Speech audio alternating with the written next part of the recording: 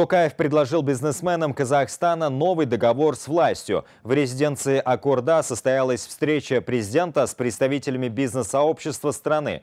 Токаев призвал местных бизнесменов вкладываться в экономику Казахстана, в том числе, чтобы исключить вопросы о законности происхождения активов. Как выразились аналитики, президент сформулировал новые правила игры, в особенности для тех, чей бизнес платит большую часть налогов в бюджет. По словам президента, двигателем роста и диверсификации местной экономики должна стать нефтесервисная отрасль. Местное содержание в товарах, используемых в крупнейших проектах Тенгиз, Кашаган и Карашаганах, не достигает даже 5%, констатировал президент. Значительная часть иностранных вложений, а это 68%, у нас по-прежнему приходится на сырьевые сектора тогда как в обрабатывающей промышленности, электроснабжении, транспорте и ряде других отраслей идет отток зарубежных инвестиций.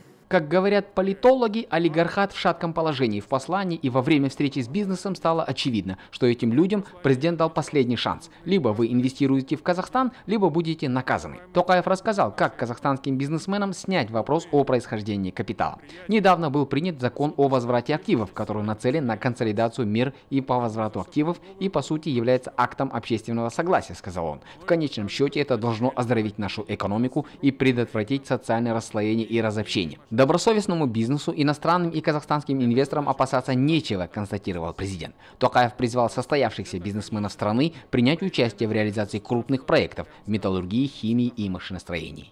Поэтому хочу обратиться к состоявшимся крупным бизнесменам нашей страны. У вас есть финансы, опыт, налаженные связи на мировых рынках. Поэтому вы в состоянии проработать реализацию подобных проектов.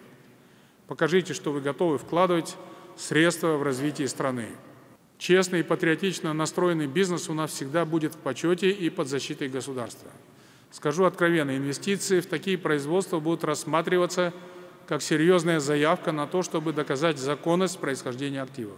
Если весь приобретенный ранее капитал работает не только на пользу собственника, но и на благо национальной экономики, на процветание Казахстана, это хороший довод, чтобы исключить вопросы об источнике происхождения денег.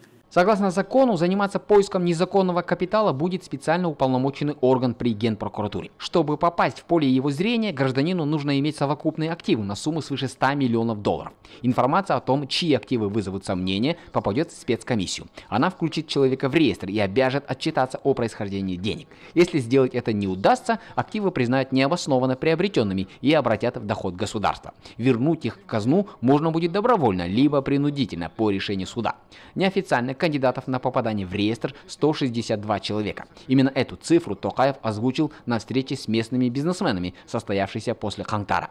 Президент тогда заявил, что всего 162 человека владеют половиной состояния Казахстана, в то время как у половины населения доходы не превышают 50 тысяч тенге. Бауржан Шейхмет, Ахмедяр Ильясов, столичное бюро ТДК-42.